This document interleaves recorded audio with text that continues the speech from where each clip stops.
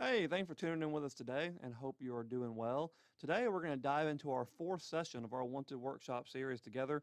And what that means is, is we just open our Bibles and we get a pen and a highlighter ready and we go through and we make a chain Bible study, helping us to walk through different topics to study. And so today, the topic we're actually studying together is a chain study on the Trinity. So hopefully you have your Bibles with you, uh, and I'm excited as we walk through this study together.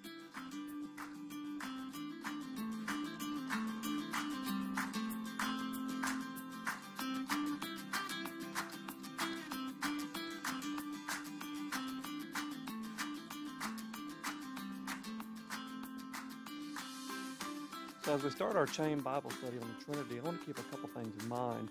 Uh, one, I did not plan during this study to actually talk about the roles or functions of each person in the Trinity. Uh, my goal in this study was to introduce more of the characters that make up the Trinity.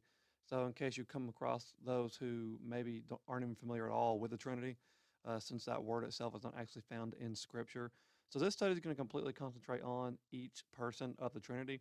So maybe in the future you might want to go make separate Bible studies, um, separate chain studies on who God is, uh, who Jesus is, and who the Holy Spirit is. But for today, like we just said, uh, staying with the characters of the Trinity. So the first verse I decided to come to here, as you can see highlighted in the front page of my Bible, is Matthew chapter 28 and verse 19. Uh, I've chose Matthew 28 in verse 19 for a specific reason. Uh, this is a really good verse that we're going to see uh, that we come across multiple times in our study. But for this one, you'll notice as I've circled, uh, all three of our persons in the Trinity are mentioned in this one verse. And so uh, that's why I've highlighted this one first, because in Matthew 28 19 it says, In the name of the Father, and of the Son, and of the Holy Spirit. Um, and you'll mention here, I'd like to mention here, that each of these are distinct persons. And so it's not just grouped together. Um, it's the Trinity here, and the tri equals three. When unity we mean is one. Um, the good question to ask here at the beginning of the study is how can God be both one and three? Well, we might not be able to answer it in this passage, but we're going to continue looking throughout the study to be able to answer questions like that. Uh, so the next one we come to is 1 Corinthians 12, verse 4 through 6. And again, the reason I gave this one is because it explains that God is three in one. Uh, we see the word Spirit, we see the word Lord, and we see the word God, all with same uh, characterizing them. And so, again, the first two verses we come to in this study are both going to introduce all three of those persons to us. Like mentioned earlier, the word Trinity itself is never actually used in the Bible. That's a word that's been uh, given um, for uh, these three persons. Uh, so, where do we start? uh, the question we come to now. Uh, the reason I picked these two passages first, like I just mentioned, I think they encompass really well um, what the Trinity is because they mention all three persons. But where do we go now from here? Well, I suggest we turn to the beginning in Genesis 1 and verse 1. I think it's a great place to start because that is in the beginning. And we know that in the beginning, God created the heavens and the earth. See, God the Father, his role is to generate things. Uh, that's what he does. He starts things. Um, what things did God create? Well, if you want to look through here and do some context study, you'll see the things God created all throughout. This is a good place to camp for a while and talk about uh, God as being a creator and being a generator. Um, but as we move over to James now, back into our New Testament, we see here in verse 17 uh, that every good gift uh, and every perfect gift is from above, coming down from the Father of lights. So again, all things originate with Him, meaning God, and they flow from Him. Well, good question here is well, why did God create all of this? What was his purpose in doing so? Well, we're talking about First John chapter 4 and verse 7 through 16. The reason I give is because God created us because he loves us. Um, we see here in verse 7 through 16 that love is from God, and whoever has been born of God knows God. Uh, and it continues to say that God is love. And all throughout here, I don't give you much here in this PDF because I didn't want you to rely too heavily upon that. I'd rather you focus in on what the text says and find out for yourself the important things you want to underline and circle. But um, am I in love with God? That's what this passage is really asking. And I need to ask myself. But we come next to that ever so popular verse in John 3, uh, verse 16, but also a little bit after that, uh, for God so loved the world. Now, as you can tell, this next little phrase that he gave his only son. This is where I'm going to start our transition. Um, I talked about God first in these first three verses, because that's where it all starts. Um, because we are loved by God and we're wanted by God. But this is going to be where we transition into the next person of the Trinity, which is Jesus. Um, the good question to ask here is Do you believe in the Son of God? Do you actually believe that He came to the earth and did what He did? And so that's where this transition begins in John, looking at John chapter 1. Now, this is a pretty lengthy passage. Um, so, again, somewhat like our last video, I just highlighted the parts that if I was needing to pick just essential areas and just had enough time to talk about certain things, that's what I highlighted. Um, you may find different things to highlight. Um, you may want to highlight the whole thing or only the first verse. Um, but I found this to be important because Jesus was with God in the beginning. Uh, it says here, in the beginning was the Word, and the Word was with God, and the Word was God. Uh, that's referring to Jesus Christ. He was with Jesus. Uh, Jesus was with God in the beginning. Now, how could Jesus, God's Son, have been with him in the beginning? You know, uh, I wasn't with my father in the beginning. Um, my father came first, and many, many years later I came. So I wasn't with my father in the beginning. So how can we say that Jesus, being God's Son, was with him in the beginning? Well, in Philippians chapter 2, verse 6 to 11, uh, looks like a little bit of poor quality here in the picture. But have this in mind among yourselves, which is yours in Christ Jesus, who, though he was in the form of God, did not count equality with God a thing to be grasped, but emptied himself by taking the form of a servant, being born in the likeness of men. This gives us our answer. I love it a lot of times when we ask the questions, but then we go to scripture for the answers. And that's why this is a chain Bible study, because they're building off each other. God, the Son's role, is to pay for our sins with his blood. So we have God the Father and we have God the Son. Here's the two parts to this Trinity so far. Um, the question here is, and we can get real practical with this, is how did Jesus pay for our sins? Well, Isaiah 53, uh, verse 3 through 5, it tells us, it goes through that scene of the prophecy of where Jesus is going to be uh, afflicted and persecuted uh, and crushed for our iniquities. Jesus paid for our sins by dying on the cross. Why did he have to die? Uh, why couldn't Jesus have uh, done something else in order to uh, suffice that payment for sin? Why couldn't Jesus have just snapped his fingers and made it all go away? Why was it that he had to die for? Well, uh, a lot of questions and a lot of answers can be given here. And so I encourage you, take some time, uh, fill in some blanks.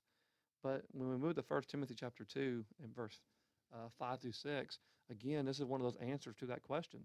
For there is one God and there is one mediator between God and men, the man, Jesus Christ, who gave himself as a ransom for all, which is a testimony given at the proper time.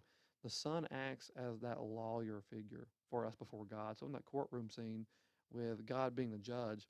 You know, the judge is impartial here. He's letting you plead your case.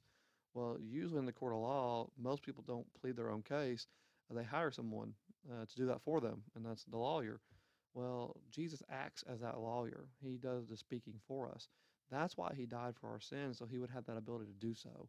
Um, but some may ask, well, why do I need a mediator? Um, first off, I circled the word mediator so I can make sure I knew what that was. I also circled the word God. Um, but I should have circled, you know, Christ Jesus, but it looks like I underlined it because we're still focusing on these two parts of the Trinity. Again, I didn't spend a whole lot of time on God in the first three, four verses because most people have a grasp for who or what God is. Um, Jesus, um, there's a lot more to it to try to separate these two. It's hard to say they're both one, but yet they are individual people. And so that's going to take a lot more uh, in depth study that this certain chain is not doing. Uh, again, this one is just identifying our characters, but maybe we'll make another one in the future just talking about who Jesus is and who God is. Um, but when you think about this question of why do I need a mediator, we turn to John 14. Here in John 14, I have two images because my Bible had to turn the page, um, and yours may not be that way. But the reason we need a mediator is because Jesus is the only way to God. Um, there's lots of religions out there and lots of different beliefs out there of different ways uh, to receive uh, Christ, to receive God, to to have that inheritance. But we know from Scripture that Jesus said, "I am the way," and then He said, "the truth and the life." I really enjoy the ESV here because it doesn't take away that article "the"; it keeps it in there because it's signifying there's only one. It's individual, um, and so we see here that no one comes to the Father except through Him. The question I have here is, what is Jesus claiming? Um, the Pharisees uh, and the Jews got really upset here because he said that I am the only way, I'm the only truth. And he also said that if you have known me, you would have known my Father. Um, and I and the Father are of one, um, as if you keep reading there. And so uh, some people got really upset. And so, what exactly is Jesus trying to claim? Well, he makes it much more clear here in John 10, verse 30, when he says, just flat out, I and the Father are one. Uh, he's not just the Son of God, but God the Son. It's kind of a confusing statement. That's why I encourage you to make sure you understand this. But why did this make the Jews so mad? Uh, we just mentioned um, Jesus is just saying, hey, I and the Father are one. We're the same person. But they got real upset about this. Um, to prove this even further, uh, this is where our transition period happens uh, here in verse 2 back to Genesis again. We were just here earlier talking about God. But the second part here is, and the Spirit of God was hovering over the face of the waters. Uh, maybe you've never noticed that part of that verse before, or maybe you've read it a hundred times. And you're like, yeah, I knew that. Um, what that's saying here is the Holy Spirit of God. That's referring to God's Holy Spirit. Um, that's referring to the third person of the Trinity. Now, it's important to make notice that uh, the third does not mean the least important. That's just as far as roles go. and That's a whole other study. But the Spirit of God was also there. Um, the Holy Spirit is not just a force, but a divine person. He was present in the beginning. Um, can you see here the question that you should ask? Um, can you see here all three persons at work in the beginning? Uh, we saw John 1 1, where it said, In the beginning was the Word, and the Word was with God. We see Jesus. Here in the beginning, God, we see Him. And then we see in verse 2 the Spirit of God hovering over the face of the water. So we can see all three of these at work as we continue. But here in John 14, we come across again one of those times where uh, we have some verses touching, and so there sometimes could be a little bit of confusion. So I've gone on and highlighted to the right the different colors uh, indicating where they go.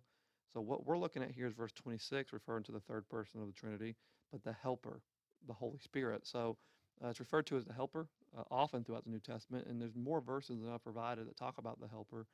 But just in case, the author here has went ahead and said, but the Helper, meaning the Holy Spirit, whom the Father will send in my name, will teach you all things and bring your remembrance all that I have said to you. He is our comforter and he helps us.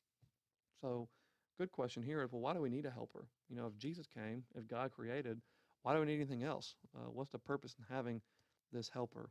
Well, not just as an influence, but we need to understand he's the third person of the Trinity.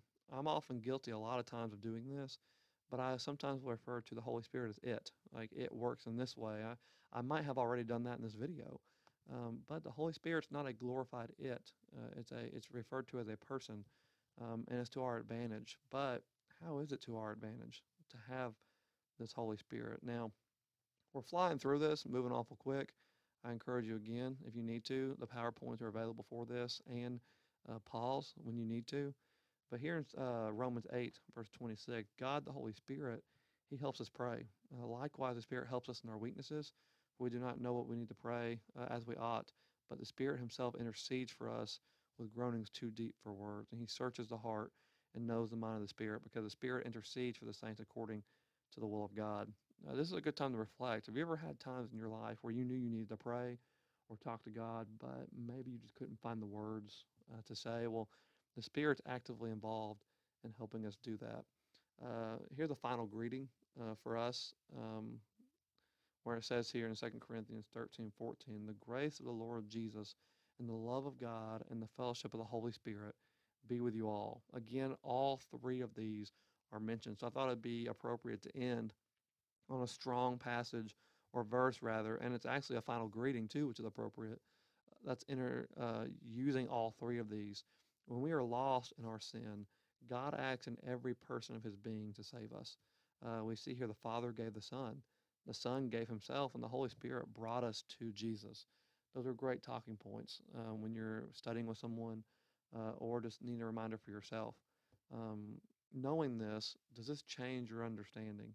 Uh, and what I mean by that is understanding the persons of the whole of the Trinity, the Holy Spirit, the Son, the Father, um, although we don't necessarily have their roles down, which we might never be able to understand the Holy Spirit because of its divine nature, we're not supposed to. But does getting a grasp for each one change your understanding uh, and make a difference when you're reading through Scripture? Uh, hopefully, uh, this study on the Trinity has helped you.